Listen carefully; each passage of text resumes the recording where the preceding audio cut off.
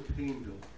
Yes. And all the pro-life community was celebrating how great this was. I wasn't celebrating because while this bill says that children um, over 20 weeks cannot be aborted, what happens is the children that are less than 20 weeks gestation. Does not the word of God say, Yes. "Thou shalt not murder"? Yes. Does not our Constitution say that no one shall be delight, deprived of life, liberty, or property without due process of law? This is in the 14th Amendment. And yet, by that law, we have basically said that it's okay to kill children less than 20 weeks old. They're still children. Yes. And I'm sorry, but there are a lot of conservative pro-life Christians out there that are saying, oh, they were celebrating this passage of this bill in Texas. And I don't know why we're celebrating. We have compromised. We have compromised the Word of God for political expediency. And brothers and sisters, this the church, I'm not saying this church in particular, but the church at large, we need to wake up. And we need to say no abortion. I don't stand for pro-life. I'm not a pro-life person. I'm an abolitionist. Okay? I'm an abolitionist. This song is about abolishing all abortion because every innocent child that is murdered is the murdering of an innocent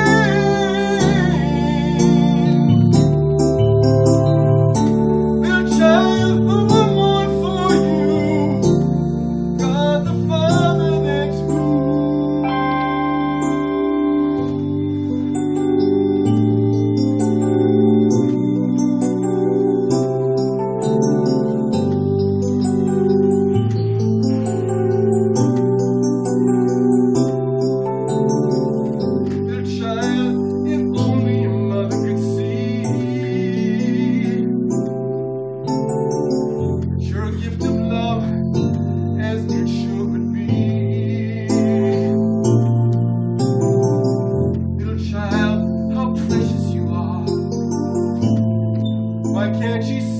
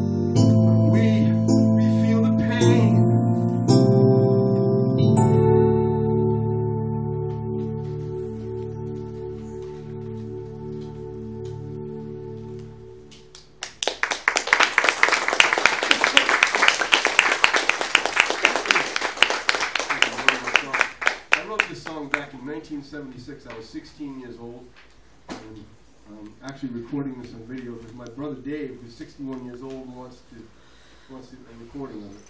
It's called Praise the Lord. Have you ever heard of Merlin Carothers? Anybody heard of Merlin Carothers? Uh, he had, he wrote a book called um, Prison to Praise, and his whole teaching on praising the Lord in all circumstances. That's what this song is about.